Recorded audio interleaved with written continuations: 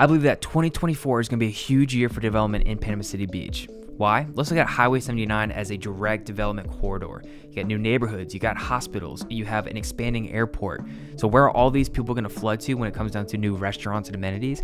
Everybody's going to come to Pier Park as they've been for a long time. So what changes are coming to Pier Park that we can expect from one as an investor that we can promote for short-term rentals and as two, you know, local residents. What can we then enjoy in our area that's a little bit different than we've been enjoying for a while? Let's get right into it.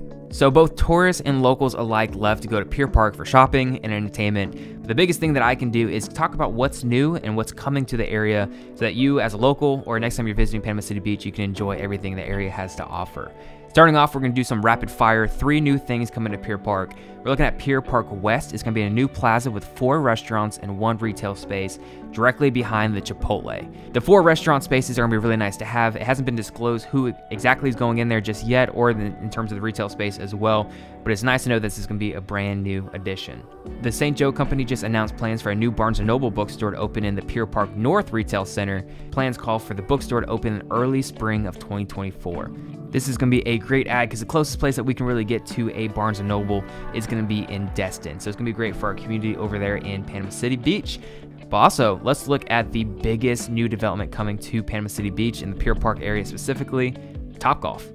Panama City Beach Planning Board members approved the plans to bring the first Topgolf to the Florida Gulf Coast. Plans call for the 38,000 square foot facility to be built on 11.3 acres. Topgolf is planned for a plot of lot behind the Walmart by Pier Park the front of the building will face Powell Adams Road. Design plans show a two-story building with more than 70 tee pads or bays, a full restaurant, a bar, a mini golf area, and an outdoor patio. Topgolf representative Todd Waldo said a multi-million dollar investment upwards at $26 million will create about 150 jobs during construction, 300 jobs once they're open and operational, and estimating about 200,000 visitors per year coming to this venue alone.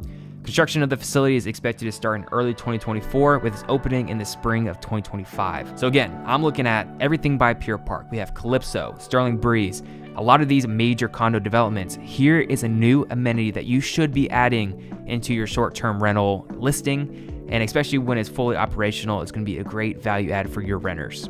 If you're looking at coming to the area, I highly recommend checking out the new Residence Inn. The St. Joe Company Intermountain Management LLC have formed a joint venture to design, develop, construct, and own a limited service hotel right here in Pier Park built by Cardella Construction. The current plan calls for a 121 suite Residence Inn by Marriott to be managed by Intermountain. The hotel's location on the north side of Highway 98 near the intersection of Pier Park is convenient for families traveling on vacation as well for business travelers. Guests will be within walking distance of nearby shopping and dining and of course our beaches, but as well as the Frank Brown Park Sports Complex and event site directly behind it. It's going to be a great addition to Pier Park overall. If you have any questions about any of these developments, as always, please feel free to reach out. The reason we make these videos is so that you're the most informed buyer or seller when it comes down to your real estate investment. And I'd love to talk to you about how these developments pertain to your property's value and what we can start to see as we move into 2024 here in Panama City Beach.